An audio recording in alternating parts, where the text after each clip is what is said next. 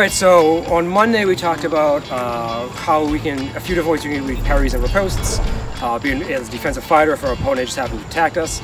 Uh, so people are kind of asking what this kind of looks like in, in tempo stuff, so we're going to do a uh, quick kind of like walkthrough of what all these uh, look like that we went through on Monday. Uh, ideally, whenever she, uh, Anezka here parries, if she, if she can just extend and hit me in the head while I'm splayed out in this big lunge position, that's the ideal, because I am very vulnerable when I'm at this point. Uh, so she's fast enough and she can get me. Uh, that's what we're hoping for. So we're just gonna kind of walk through what this one looks like. So if I just throw my attack, she parries. If you can just extend and hit me in the head and keep that line closed, uh, that's the idea of what we're looking for. You do need to be very fast on that parry riposte, or your opponent is be very. They think they're just gonna hit you and they're just hanging out there and stuff. Uh, so it can be a little bit difficult, but it's definitely worth uh, trying out.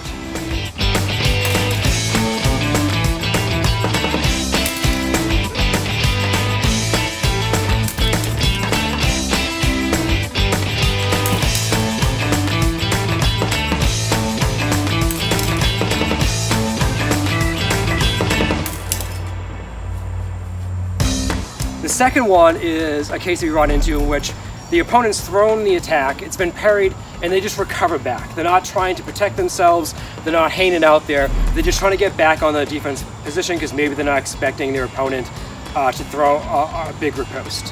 Uh, so in this case, Anezka needs to follow me back into my on guard position. And this is really useful as long as she makes sure she leads with that sword first. She realizes she doesn't hit me right away, and then she just finishes with her actual uh, lunge via uh, a riposte via her lunge. So if we walk through this one, I throw the attack, she parries. As I come back, she just strikes me as I'm recovering. So she's getting me, in this case, she's hitting me at another point where I'm very vulnerable, and that is the tempo I'm giving her as I'm recovering back. And because I'm recovering back without trying to close off the line, she doesn't really need to do much of anything other than extend, close off that line, and follow me through. Uh, opponents like that, uh, fantastic to run to. They make your approach nice and easy.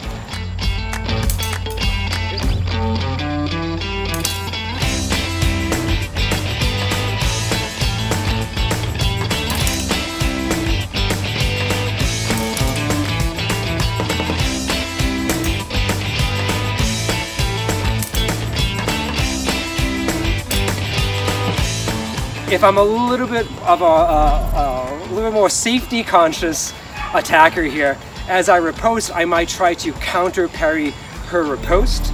Uh, and in that case, she needs to disengage around my sword and strike into the opposite line. So at the camera here, uh, your opponent would throw the attack, you parry, as they recover, they're trying to parry your riposte, which opens up that opposite line for you to strike it. The key here is you really need to make sure you lead with the sword first, because if you don't, you're going to get stuck on your, uh, your opponent's guard and blade, and they might be able to counter riposte you at that point, and it's not so super great. So if we walk through what this one looks like. We're on guard, I throw the attack, she parries, she sucks this extend, she feels this parry coming, so she disengages and then strikes on the opposite. So we kind of just do that one a little bit smoother. Just like that.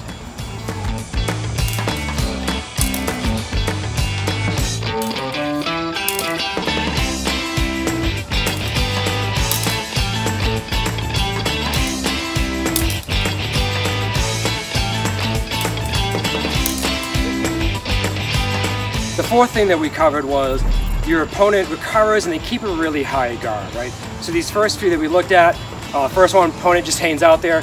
Second one, they come back into the defensive stance uh, right away. Third one, they try to do a counter parry. And this fourth one is they come back and they keep a really nice high guard. So you might see this uh, for people who do a lot of Fabris, they just naturally hang out in this higher guard. So when they recover, they're gonna recover back with a nice hard guard, uh, guard and keeping their head behind the sword, regardless of where their how their hilt uh, is positioned uh, uh, guard-wise. So in this case, it can be very hard uh, for a post to happen. Uh, we kind of like walk through what happens if you just try to strike through uh, the point on this. So I throw the attack, she parries, as she ripostes, I get this nice hard guard, so now her sword goes over my head, and then I could do something where I just kind of turn my hand over and basically like strike her as she's coming on in. So in this case, she needs to get my point out of the way uh, so in a, while also opening uh, some other lines up. So she's going to do a transport to bring my sword high, or the point high, low. So she still has control over it. We'll get an access to my low line targets. So we'll walk through what this one looks like. So I throw the attack, she parries, so I come back to that high guard, she just transports over and strikes. Do that one more time. Nice.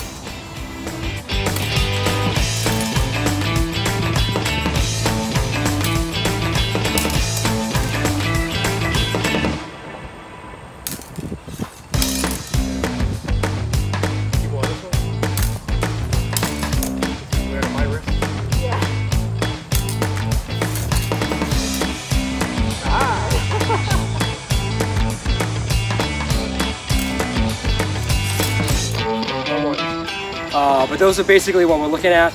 Again, first one, uh, she just wants to, we'll just do this really slow. I'm out here, she just wants to riposte right away while I'm in this lunge position. Second one, she riposte while I'm coming back, not trying to close the line off. She closes it off, hits me nice and easy. Third one, she feels me trying to counter parry, so she disengages, strikes on that open line. And this last one, I try to recover with a really high guard, she transports and hits the low